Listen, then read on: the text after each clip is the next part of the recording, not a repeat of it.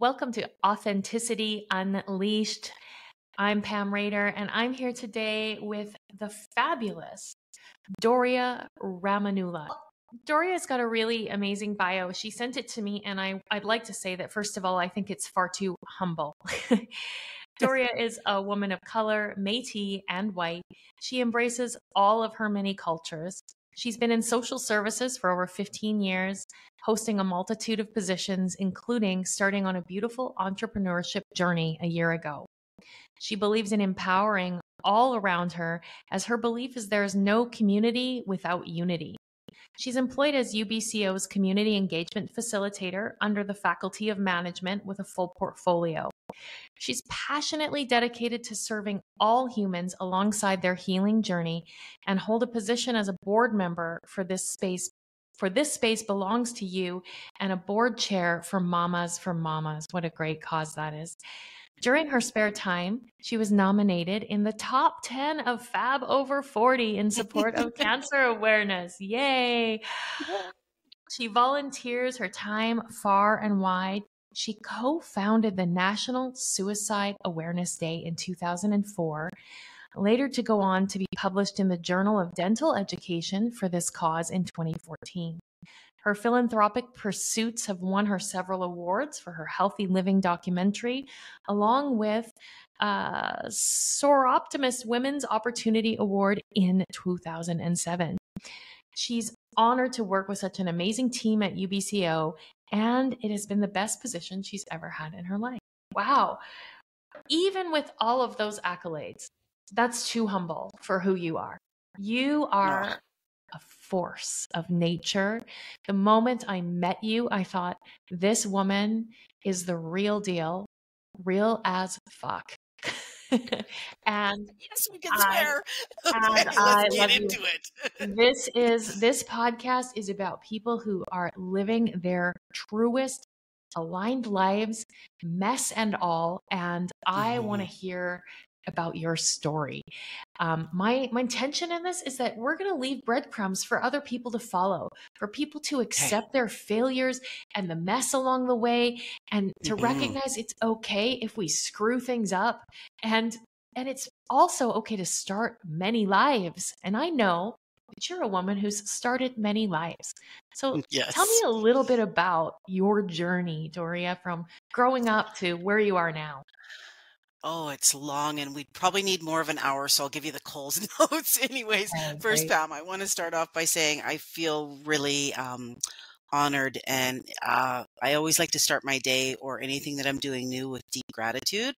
And so I'm mm-hmm. going to start off with saying I'm in deep gratitude for you for having the uncomfortable conversations and for more than that, for being a trailblazer and for being authentic. Um, I think right now, as a society, we are so diseased, diseased, as you mm-hmm. know, we are distant from our true selves. And because of that, that's what's happening. And when we have conversations like this, even if we just start the conversation, we start to reconnect.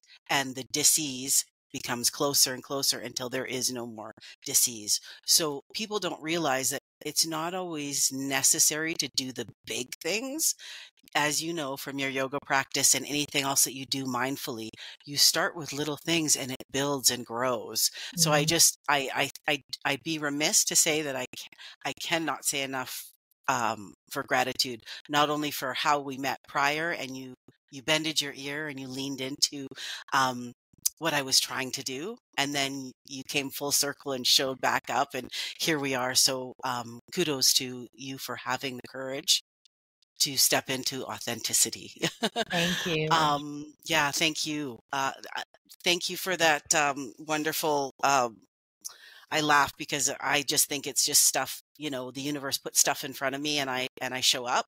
So I never look at it as that I've done a lot. I just look at it as I I showed up and I paid attention because too many times I didn't. Um, and I love there was there's a question you're going to have um, back that you had said you might mention and and you mentioned about being being nudged into your authenticity and i will mm. say that i've i'm a capricorn so i don't get nudged for anything i get pushed and, and then I listen and then I'm there and and people always go, "Oh wow, you you leapt." And I go, "Well, not really. it was really pushed."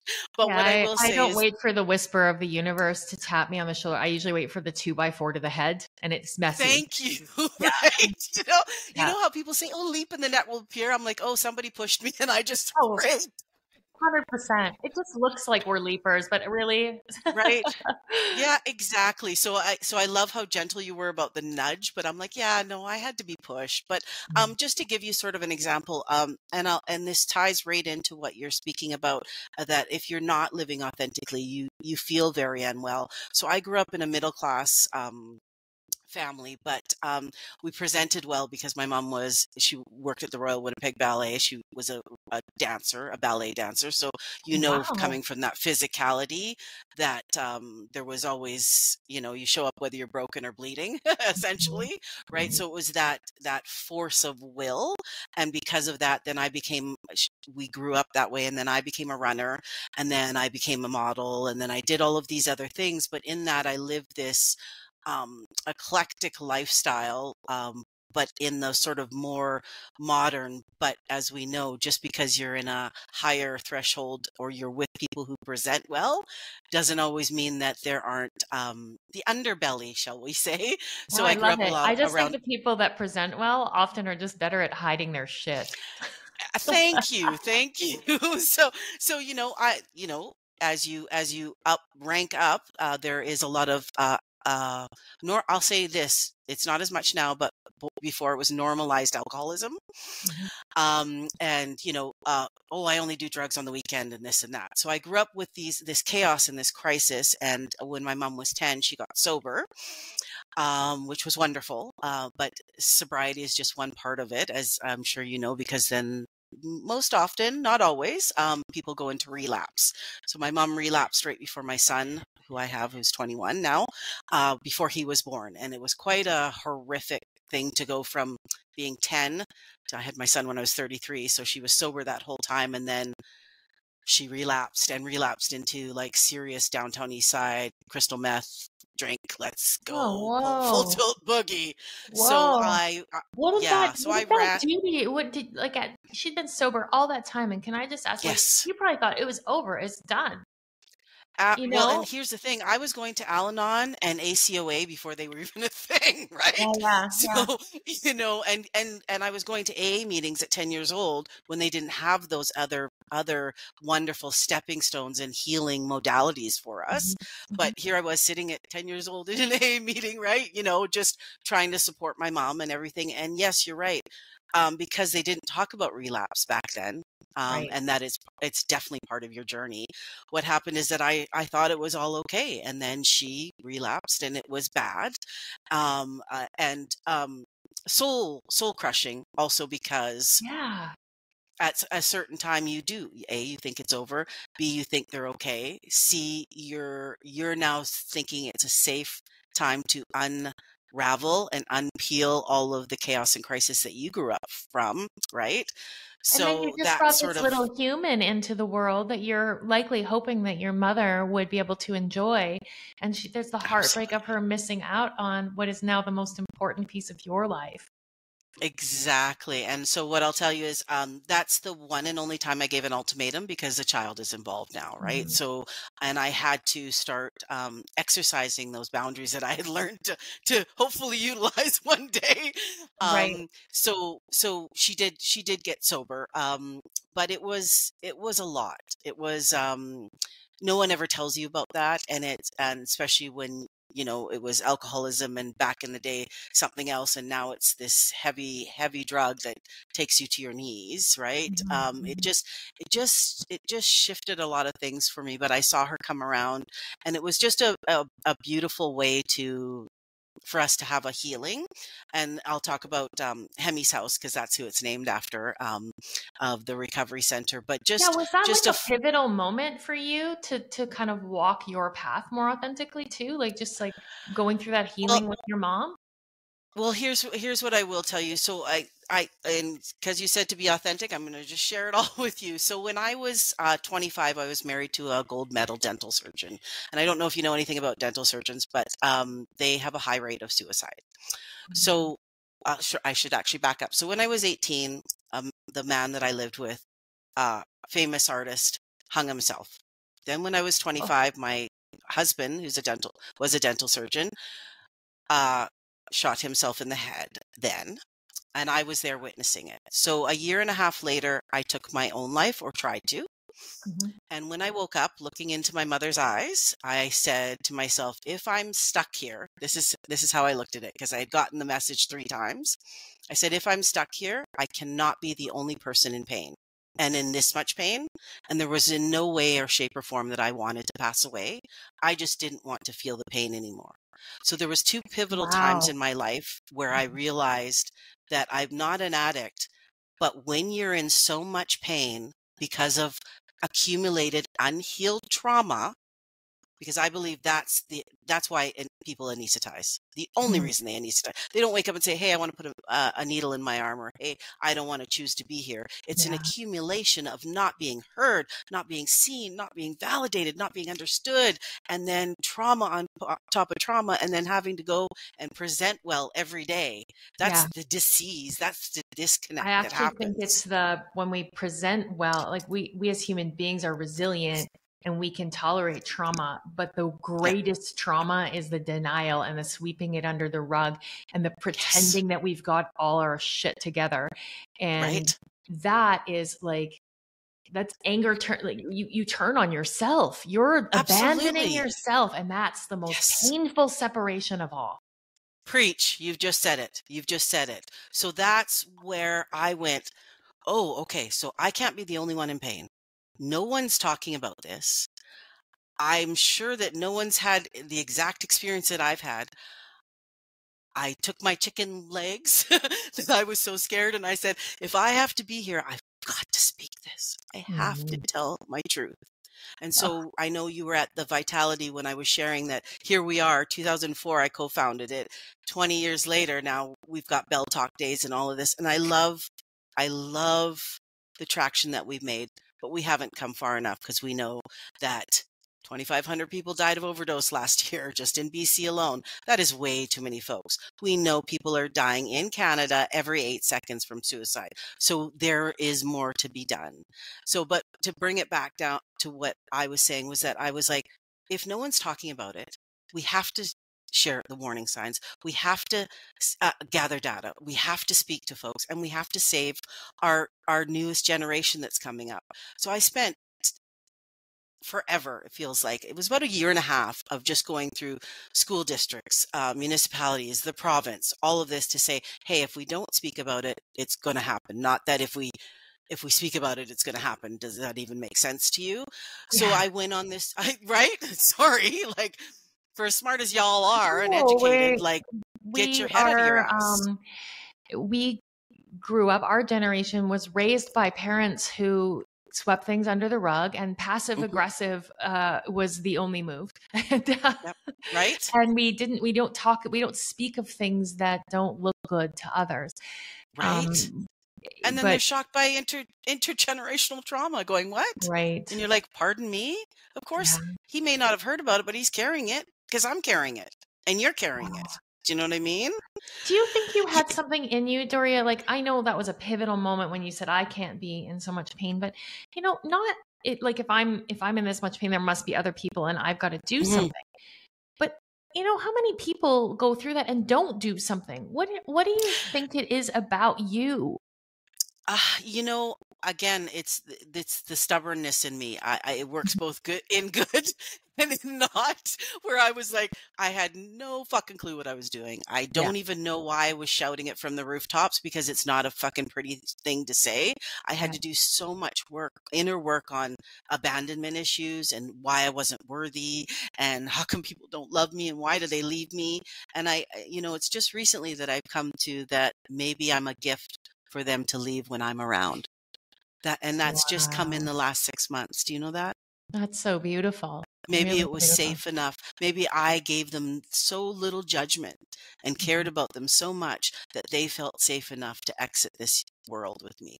That's what I'm going to hold on to because that's how much work I had to do to You come know full what? circle, right? Dhorea, every single thing that happens, I mean, we can take it back to Viktor Frankl's Man's Search for Meaning. It's all what we make things mean. And I am a big proponent of saying, you know, I could say that, you know, my son was an addict and I could say, oh, it was happening to me and it was terrible and all that. And then Mhm. that would be the experience of my life. Or I could say, he was my greatest teacher and propelled me, catalyzed me to do some deep healing I didn't even know I needed to do.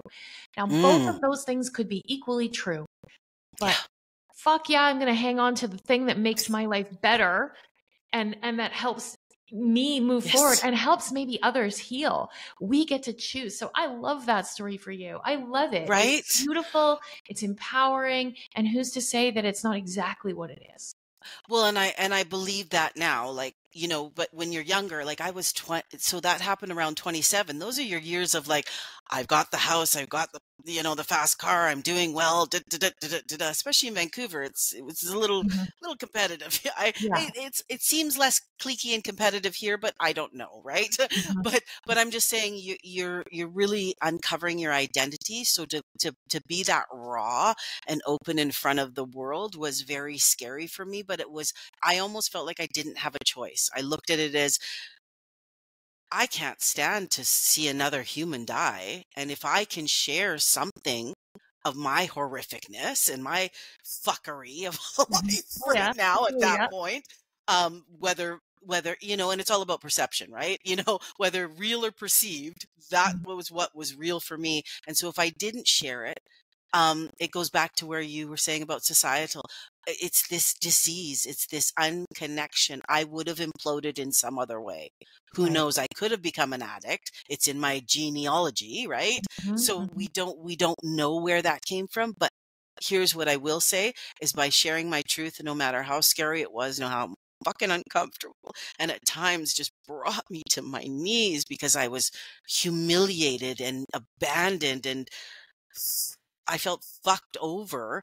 But I Mhm. knew that if I didn't say it and speak my truth to even one person, I was going to be really sick and I could harm myself and others.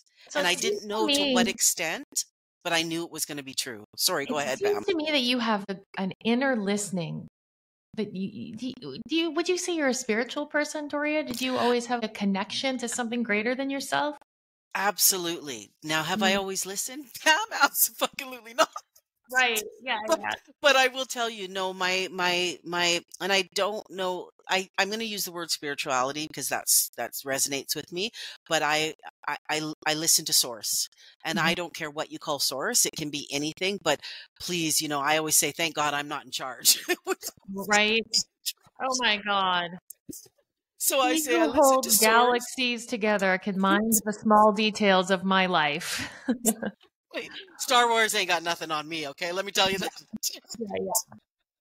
But but what I'm saying is when you listen to source, whether you call it the universe, earth, mother earth, whatever you call it, there's something innately, incredibly knowingly that if you just get silent enough and do this, right? Head, Mhm. heart, mind, and body together Mhm. and pay attention. Pay attention. It it's speaking to you in so many ways. You know, when people say, "Oh, that was a deja vu," or "That was a oh, I, something, some, oh, that's really synchronistic." Yes, it's the universe really trying to get your attention. And the clearer it is, the louder it is, is the more we need to pay attention. And I didn't always. I will say there was several times in my life where the trajectory of my life could have gone differently had I been more in tune. But now I 99% of the time I try and tune in and when I don't know is when I go even slower. And I and I'll stop my world if I have to in order to really pay attention because I've had too much go on for me to now deny that Yeah. that whatever that is. Well, Let's just go with my that. experience that that um, when I'm off my path, when I when I've been Mm. living in a way that's not authentic for me, Yeah. um, that there's also a disconnect with source. I'm not Yes. paying attention to those whispers, to those messages. But to me, it strikes me that a 10 year old girl going to an AA meeting and then like all the things that you managed to do, um, you are someone who's connected to source. And when you're connected to source, it seems as though you're highly aligned with your purpose. And when we're highly aligned with our purpose, I think, and I'd love for you to speak to this, I think that that is the thing that gets us over the other thing that keeps us from being in purpose, which is fear of what other people think. Yeah. So And tell I- me I- about tell me about how that showed up for you and and Oh, it, how it you showed got up over that. it showed up hugely um and i'll say i was a because here's what happens when you grow up in chaos and crisis and an addiction of any kind and I, i'm going to repeat that when you grow up in addiction of any kind Mhm. you grow up in chaos and crises and so you're doing the matrix all day so i became so usually it's a rebel or it's a people pleaser you go you Mhm. get one of the two okay and you know Or, this so well both, so that's what which I, I or love both yeah you can you can between the 2 I, i'm sure i vacillated between them depends Yeah. on which crowd i was in front of right Yeah, hundred percent. right Yeah. so so but for me i the the bigger part of me at the beginning of my life was a people pleaser and a matrix because i felt like and this is how much pressure is put on you as an adult child or a child of an alcoholic and an addict is because i always thought that if i could walk on eggshells and if i could know what you needed before you even knew you needed it and then fulfill that whatever Mhm. that looked like then we were golden so I Mhm. spent most of my beginning life doing that. So I Mhm. presented very well. I was always perfect weight. I was the fastest in the Vancouver Olympic Club. I was I always excelled, but I spent many hours, sometimes, you know, 18, 24, 36 hours excelling whatever it was I had to present at that time because I couldn't show up with my underbelly. I couldn't show up with a few pounds overweight. I couldn't show up with a, a, a root canal that I got to go get next week. I couldn't show up that way because that was not what was asked of me or required from me. Um, and then, of course, I lost two people and lost my almost lost myself, Mhm. and then had a child, and my mom relapsed. So by the time this my son came in at 33, I said, I cannot fucking play your game no more. I Yeah. like I just got I just I got it. I I have to show up authentically. I have to tell my truth and and I know you've heard this before Pam, but I say, you know, I walk in, I know I'm a unicorn. I know I'm a unicorn, but I go and I put my I try to put my horn down, out come my wings and glitter fucking goes everywhere. So you see me anyway. So what am I going to Yeah. do? Here I, here I am. So now I've decided to just walk in as that unicorn and ask, do you mind please making some space for me? Because Yeah. here I am. I love that. Do you mind just making some space for me? Now, that's such a, an interesting thing because I recall as a child, uh, my my mother would say to us like we weren't allowed to ask for water at someone's house if we were thirsty, you know. And I know she was trying to make us polite, Mhm. and that was so ingrained in me that I did that to my kids too. Don't ask for anything when you're, you know, and and we have this distorted view, like where we teach our children to play small, to fit in, and to disregard our own needs. Yes. So I love this of like being in the practice of saying, here I am, and it's not my job to make myself small for you, but I will ask that you make space for me. Yeah. Whoa. and and and can't we make space for everyone? Right? Right? Well, Can't if we make we all space just for everyone? and and and uh, you know, of course, if the answer is yes, I'll make space. for Yes, I want some of that glitter on me. I, I'm hoping some of your unicorn rubs off on me. I want that. Right? I, uh, yeah, and I think that when you live in that way, you become an inspiration and a um, a game changer. And I mean that um, in terms of people are, and we're we're going to use the literal term here. People are dying, as you've just said, to be authentic. When they are forced to be something other than who they are, they are dying whether Mhm. by suicide or by drugs or whatever, or just slowly death by a dying. thousand cuts, Yes. dying to be authentic. This is what people are dying because of. They're living inauthentically for a multitude of reasons. So when someone like you, with your beautiful unicorn horn and your wings and glitter, comes walking into a room and you are unapologetically you, and you are fiercely um, protective of the underdogs and you mm-hmm. are uh, outspoken about the things that matter to you. What you do, and I don't know that you realize this, uh, maybe you do, but you give people permission to do the same because someone mm. has to mm. go first. Right. Someone you know, and I, I thought it was a character flaw.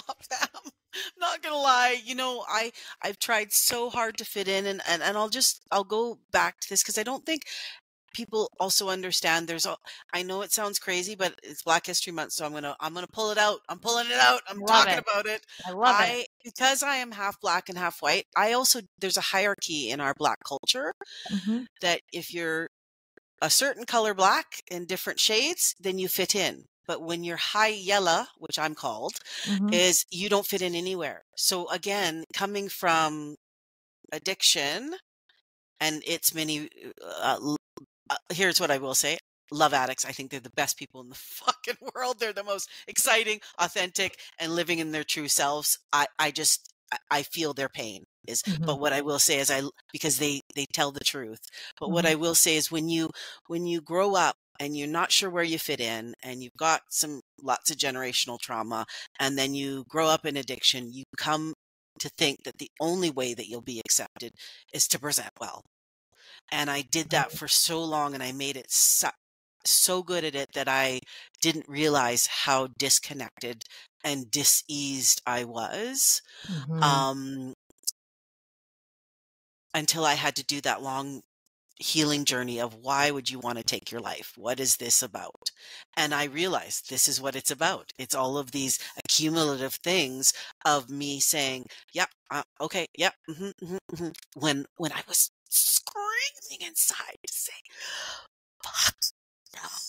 Yeah. No, no, yeah. I don't want to kiss that uncle. No, I don't feel comfortable here. No, I don't fit in. No, I don't understand. Please mm-hmm. explain mm-hmm. it to me.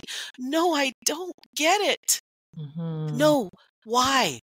I was always scared to ask those questions and I would, right? Mm-hmm. And I mm-hmm. would suppress and push down and negate and annihilate any of those feelings that were truly valid and it was just the little girl in me saying i just i just want to understand more i just want to be able to say no or i just want to be okay not going or not fitting in or why can't i just ask these uncomfortable questions and without everybody looking at me like i've lost my ever loving mind right right and so the I think the gift of me almost dying, my mom relapsing, and then the gift of a child, a son. Mm-hmm. I couldn't there was nothing in me that could be silent anymore. I just right. I I couldn't and I had to go on this journey of of, you know, I lost I lost a job once because I was too outspoken and too I know I was right, but it doesn't matter, right? Do you know what I mean? Now yeah. I get it. But yeah. but you lose a lot of things. Um I I never was too disliked, but I also as soon as I started speaking my truth, I I saw that people became highly uncomfortable and what I had to learn is hey, my side of the street is clean.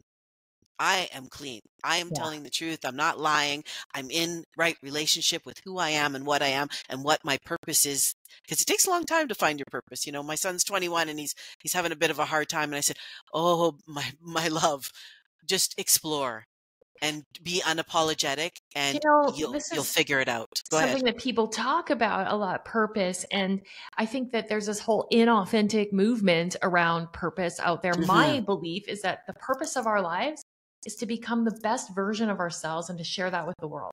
Period. Absolutely. Absolutely. And so to me, these catalysts, these difficult obstacles that happen, we have an opportunity to get knocked over by them and keep playing small and say, I'm the victim and all these things happen. And, or we have the opportunity to say, how am I going to use, this to become more authentic, more generous, more loving, more um, of a contribution to the world?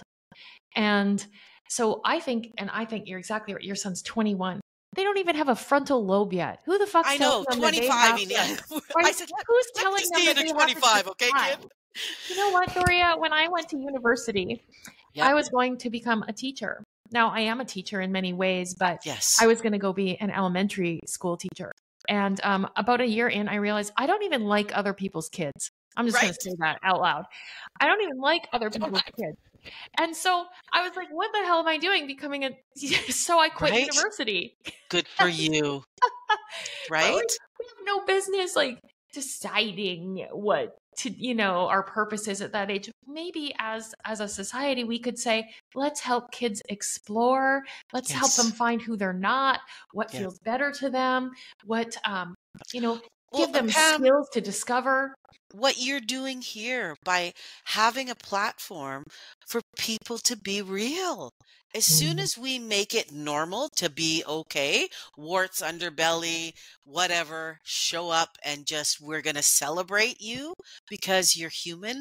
You take your your very breath says that you are of value to be here.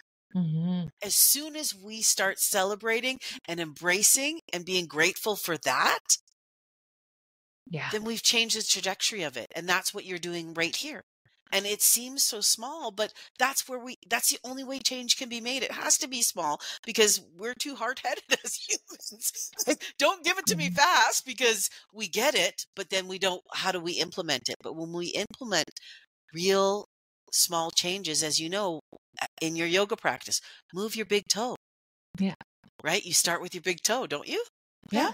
right and then the rest will follow so I think that's what needs to happen here because clearly we don't like to move too fast as humans, or we would have made some more change. But maybe this is how the sustainable and the long lasting change is made. But you're giving a platform for folks to be authentic and to come and to celebrate it. So now we're not just saying we're putting up with it. Yeah. We're right, right. Yeah, celebrating. We're not just saying we're we're not just putting up with. We're celebrating it. We're embracing it. We're encouraging you, and we're asking you to. We're inviting conversation. Come on. And Come you know, on. there's only like we're we're programmed in our subconscious mind to want to fit in because that equals, uh, you know, to some degree, not being ousted by the tribe. Right. And um, the story that you just shared about, you know, the the not uh, about the different uh, hierarchy in yes. in um, with with color mm-hmm. is uh, is really interesting because if you don't feel like you belong to any tribe you're always on high alert and you're training your nervous system to constantly be in fight or flight being ready yeah. to be rejected which is the fundamental like human fear so right? you're living a life in fear all the time like, Pam, I don't even think I have a parasympathetic nerve left. Yeah. I, I, heard it grows back, but I'm yeah. telling you, it might have said, "Hey, Dhorea, we're good. We're gonna tap out. Just yeah, let you go." But yeah. I swear to God, you're right, and always on this, like, um, as you lean into someone, yeah, always wondering, "Is this okay? Will they? Ah. Will I be accepted? Will right. will you know? Do how much do I have to?" Filter my verbiage. How how eloquent do I need to be today? And that's a lot of fucking work. It's exhausting. Is. And you know what it's I want to say about that so that our listeners have a, a real pathway when we are in those situations and i i'm just going to presence this for everybody listening that i'm the whitest girl that ever lived. I have blonde hair blue eyes. I am like the like white girl from norway and i That's beautiful seat at every table in humanity for me and i have no uh, business commenting on anything to do with being of color other than what i've witnessed and generous people have shared with me uh, I'm just trying to imagine because I think all of us feel like we don't belong to some right. degree. But I'm trying to imagine how much like extra layers there are of that. And my friend Joe Fox Dreamer, who is part white and part indigenous, he's got blue eyes. And he said the same thing. He said, I wasn't an Indian. I don't belong yep. there. And the white people said I didn't belong to them. Yep. And I wasn't in the Eskimo, and that's his words. I know we're not supposed yep. to say that, but that's what no, he says. That's okay. And I said, Well, Joe, maybe you weren't meant to belong to any one individual culture because you came to show us that we belong, all of us belong to each other. Mm. And I love that. And I think eh, the tool that I want to kind of share around this is that we're so busy feeling that we don't fit in and that we don't belong and Um, that we we gather up all these external sources to get our, our esteem from. So there's other based esteem. When yes. someone else says I'm worthy, then I must be worthy. Yep. And then we have attribute based esteem. I'm worthy because I'm kind and I'm nice and I, you know, and I'm I'm a good person. So therefore right. I'm worthy. And then there's achievement based esteem, which is I am worthy because I achieve. And I can see through what you've shared in your life, you know, you relied heavily on attribute and achievement based esteem because you didn't have that deep knowing of your inner worth. Yes. It's when we start to belong to ourselves that we heal. Mm. No sweeter words have been said. Yeah. I'm telling you, and it's and it's so true. And it, it, and what people don't understand is it's not it's not a, it's not a destination. this shit's a journey. Let me tell Whoa. you, put your seatbelt on. It's gonna be a bumpy ride, but we gonna get there. We gonna yeah. we gonna make it happen because yeah. the more that you uncover who you really are and what and it doesn't matter not what you came here to be, but who you came to show the world and to show up every day, when you have that, then there's not too much that can rock your world, right? Like yeah. y- you might have a little like, oh, so and so, Susie said something, so and so at Starbucks, right? But yeah. it, it, you go like this, all of a sudden it's like, yeah, it's that, that that's background noise. Mm-hmm. But when you show up authentically, you start to heal the genera- the intergenerational trauma. You start to heal your trauma. You don't want to anesthetize anymore, whether it's sex, gambling, drugs, alcohol, eh, bad dates, you name it. There's just a list Instagram, of right. Netflix. Thank you. Right. You know what I mean? Not yeah. you can't get off your phone, right? Like, and your yeah. child's looking right in deeply in your eyes, saying, "I would like to connect with you now." Yeah. But you can't make the leap yeah. Right. So whatever that looks like, however we anesthetize, and that shifts. They're interchangeable, as you know, as well. Right. You know what I mean? Mm-hmm. You're like, oh, I got over the Instagram thing, and now I got the sex thing. Shit. You know what I mean? Yeah. or I got the gambling, or I got who, who knows what it is because we squeeze the balloon animal. We get one part in, and then another part pops out. Thank you. Exactly. so it's it's it's ever changing, which is great because it never makes life dull. But when you tap into your authentic self, those things naturally start to dissipate in a way where you can get some space, arm's length from it, so that you can take a deep collective breath to drop back into your heart and remember what it is you want to do. Because whenever we're we come from this deeply grounded and as you know as a yoga instructor when you come from a deeply grounded place there's you can't make knee jerk reactions. You can't think from that that that that uh, what do they call it? The the brain that's the part of the brain that's not as evolved. All of a sudden you come from a very evolved place and it's very hard to to really make any kind of mistake because you're living authentically you're being truthful you know? Then it's just how much how much are you okay with the status quo saying you're you might not be okay? So tell me a little bit. I'm gonna I'm gonna ask you some questions now Please. that might put you on the spot a little bit because I'm so grateful that you shared your journey. Like so, it's so not only brave that you share about all of that, but that then to see how you have taken those pivotal points in your life and created um, such good in the world as a result of them. So you've given meaning to those awful events and right. meaning to the intergenerational trauma that has been dealt in your hand up until now. And and so now you're becoming breaking the shell of the, that encased you mm. becoming and i never say we have become but we're always becoming. Yes. So you're becoming a more and more authentic version of yourself. So tell me what does authenticity actually mean to you? What does the word authenticity mean to you? And it's i think it's there's so many layers and it's so complex. Um, but authenticity, authenticity is just it's telling your your truth, you know, and it's showing up to the best of your ability. Like like we were talking about before, Pam. I was like, I didn't know I was going to need a root canal, right? Yeah, but yeah. I I knew that today was so important. Um, a because you asked and I felt honored, but B because I also I I want to embrace being authentic. It was it took me so long to get here that Mhm. it's it's almost a shame to put her back into her suitcase and tell her to It's not to almost a shame. That'd be a damn shame. right? Do you know what I mean?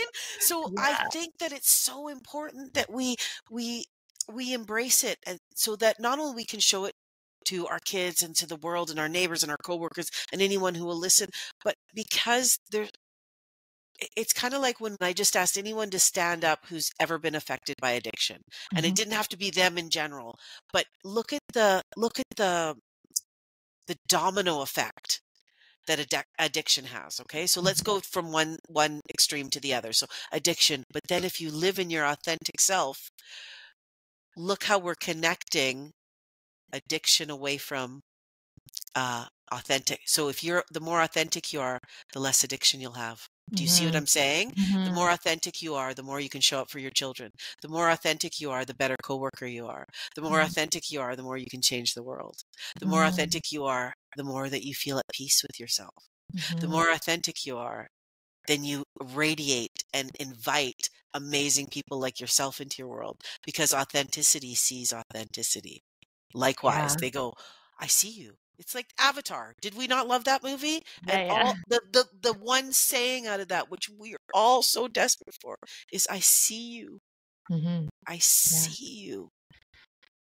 So you said something in there that I want to pull apart a little bit. You said speaking your truth. And here's something that I've come to know about myself and I'm Okay. um I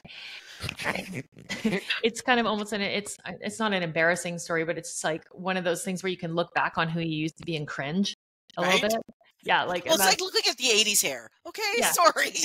right, look at the 80s hair, but like in your personality. Yeah. Right.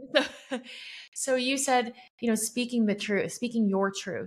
But what we have to realize, I think, and what I've come to realize is there's my truth, there's your truth, and then there's the truth. Right.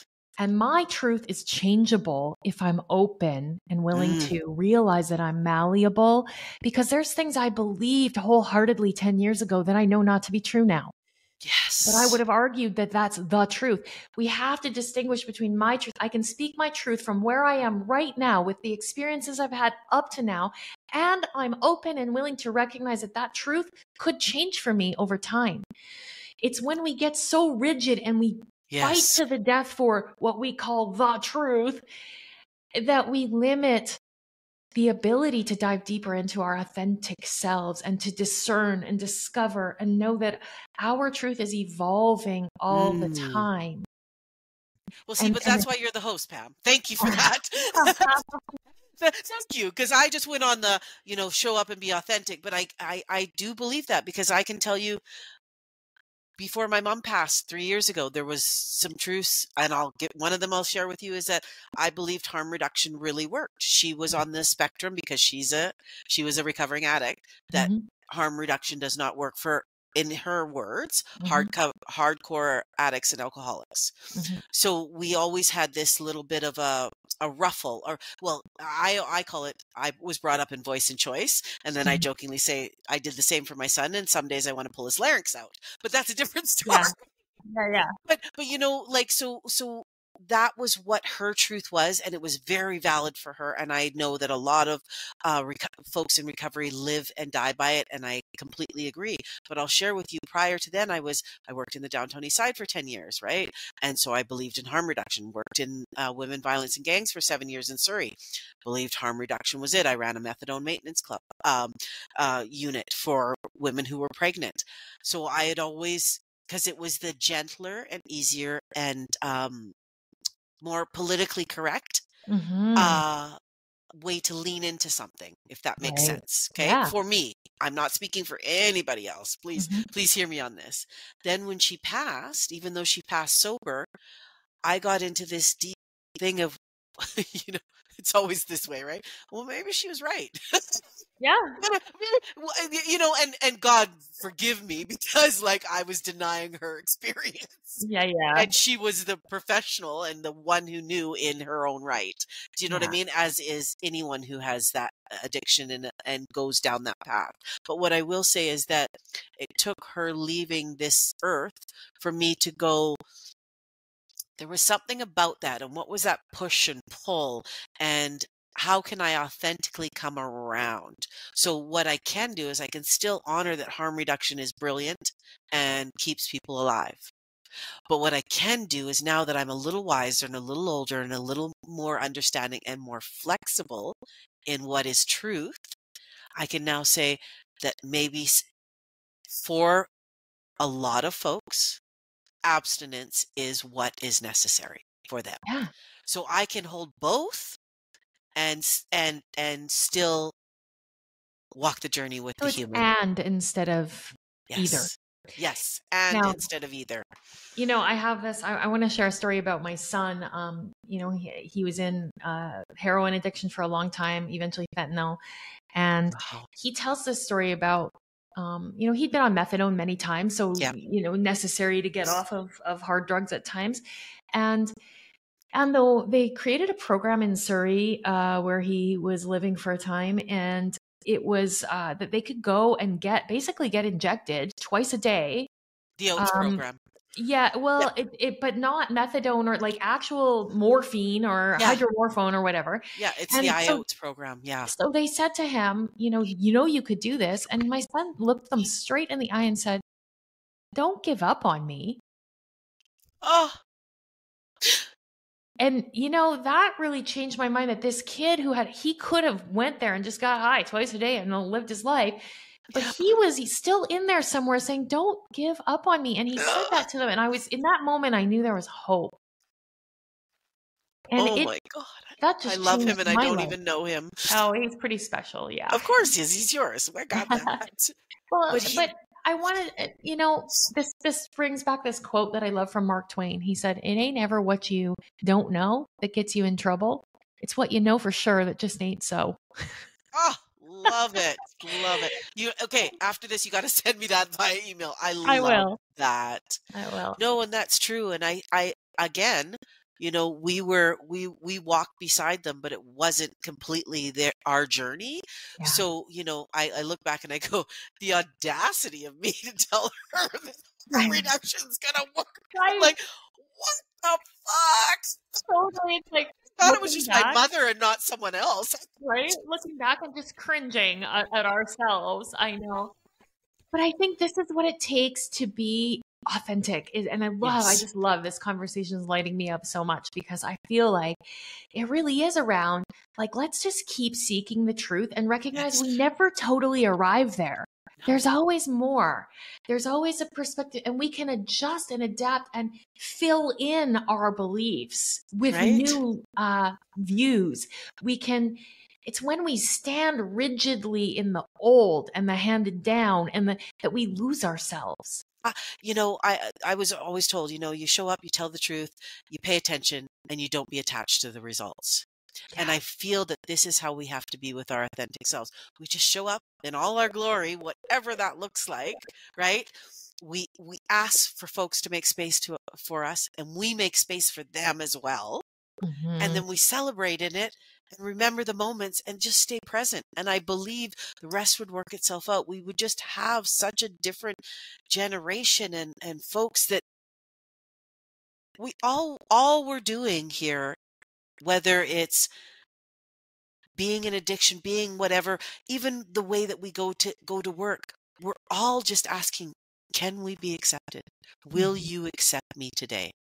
So do you think it's rather than I, am wondering if we change the question here. Okay. So we're looking for can I be accepted? Okay. I want to flip that around. Please say that the access to that is probably how can I work on accepting others? Ah, as they, okay. As they are and as they aren't. And in the practice of accepting others as they are and as they aren't, am I going to then I, I think I, I think as I'm yes. saying this out loud that that's the pathway to accepting myself. I love it. I love it. Yes. I agree. And when we when we accept ourselves and we accept others, then where our need to be accepted is not that looking for external validation. It's actually just yeah. our recognition that we're all connected. But see that I still got some work to do. That's why because that's why I still said it that way, right? Do you see what I mean? And mm-hmm. I'm okay with that. Yeah. I'm okay with that. Like that well, doesn't bother me. I just go, oh, okay, I got to do some more work on that. As is, you were speaking, I started to wonder that, you know, just, right? and I'm, I'm always, I always think that for me, authenticity is like you know when you're a little kid or you or your kids are little and you you pile them into a like layers to go outside to play in the snow and then they're like in the full snowsuit and they're like little abominable snowmen they can't walk yes. anywhere and i feel like that's uh, we pick up layers and layers and layers yes. Of other people's beliefs that allow us to feel like we fit in or belong but mm. fitting in mm-hmm. brene brown says fitting in is the opposite of belonging Absolutely, and I love um, her, and she's and, she's got yeah, she's, she's got such a tap. She's she's tapped into the pulse of what what it yeah, is that's going on. Is. and I and love so, how eloquent she is. So thank you for reminding me. She, you know, I I think based on that that it's kind of like we walk through life, and it's not about um what do we need to add in. It's like oh, which uh, what layer can I take off now, and what layer can I take off now? What layer ah. can I take off now? It's losing all the bits of not us and a remembering of the truth that we are all connected and we are all divine. Yes. Ah. Oh. And as Ed Mylett says, that we were all born to do great things. Absolutely. Absolutely. You know, and and I think also the comparisons, you mm-hmm. know, mm-hmm. of just that I don't know what your journey is. I love watching it. It's beautiful it, in all its glory. I'm sitting here mm-hmm. going, I love the, I know Pam Rader and she's in my life and I'm in hers. But mm-hmm. also then just allowing that I don't know what your journey was. I don't know how you got there. I don't know what painful nights, and I know there were some of of you coming into this full beauty that I see before me today. So why do I need to be comparison or jealous or anything except for I'm I'm going to watch, I'm going to celebrate, and I'm going to walk with you as long as you'll allow me. I'm going to share a really unpopular opinion that I have, and you can tell me what you think about Perfect. it. So we we hear it all the time that life isn't happening to you; it's happening for you. And I say it's one step further. Fuck that! It's happening because of you. Absolutely it's happening because of you and yeah. and people are so uh, averse to taking ownership of their lives and, no. and really wanting to point the finger and even using trauma as a crutch to yep. not heal yep. and at some point we have to say i'm i'm the cause of all i'm creating this all and i can yep. be the creator of my healing yep or my destruction absolutely and i and i you know what and i'll i'll speak to that because i love it mm-hmm. i had a i could have gone down two paths i could have mm-hmm. tried to tell people all about my yuckiness of all of the suicides and this and that and mm-hmm. whatever, or I could have gone down a, a, huge path of destruction because I was mm-hmm. going to implode. Mm-hmm. Um, and you know, what human combust. I knew it. I knew it was going to happen if I didn't do one or one or two things. So I I chose it. It was not popular. Mm-hmm. It was not even talked about. I was looked at as probably maybe well, there's that crazy black lady that wants to talk about death all the time. No, that it. wasn't the reason. But do you know what I mean? So, so just because it's unpopular, and this is strange, but and I love that the universe is moving towards this, is that the unpopular is now becoming okay. And that's huge for us to move into. Well, it depends what crowd you're in. We're lucky true. that we move in crowds where we're interested. But yeah. there is still a great deal of um, conformity yeah. and um, um, confronting uh, that that happens. You know, you think about the political parties and correct all, all of these kinds of things that happen. And I always think of it as like the first floor of a building where everyone's living on, and they can only see what's across the street. Right. When you start to get curious and you start opening up to, yeah, maybe that's not the point of view that I share or whatever, but I'm interested in it and I could learn something about it. Yep. Then we move up to the second floor and we can see a little over top of the buildings. And yes. then eventually we get up to maybe the 17th floor and we can see for miles that there are many truths and that yes. there are many possibilities and many ways of living and seeing life and we don't get so rigid we you see i think the rigidity comes from our clinging to our whatever identity we've created for ourselves right and if someone has a different view than us, then it threatens our worldview there and therefore threatens our identity and we come out fighting for it. But in that, we get to stay living on the first floor of the building and never see anything else right and and what a travesty that is because right. if, if you don't travel and you don't see a different perspective whoa and and i'm not talking like you got to get in a plane sometimes yeah. just traveling to where on the internet when you see something but but just we need to i'm hoping we stop doing so much of this and more of this which is yeah. we're opening up to just say oh, can i can i entertain that idea is that interesting just check it out be like you said flexible yeah. in your in your mind and your thought and your body as to there is a many many different other perspectives and and yeah. can you lean into some of them or can you not reject all of them do you know what i mean yeah and I think if we looked at ourselves as a work of art and we're just creating ourselves throughout our whole lives and we can try on lots of versions of us that maybe don't fit yep. and accept that that's part of the journey, Yes. Discovering who we're not is as important as discovering who we are. And then we you can should, do Pam, more. You need to say work. that again. You need to say that one more time. Discovering who we're not is as important as discovering who we are. Yes. And so we're going to make mistakes and things are going to feel yucky at times. And that's just, you know, no thorns, no roses. Those thorns mm. direct us to the path.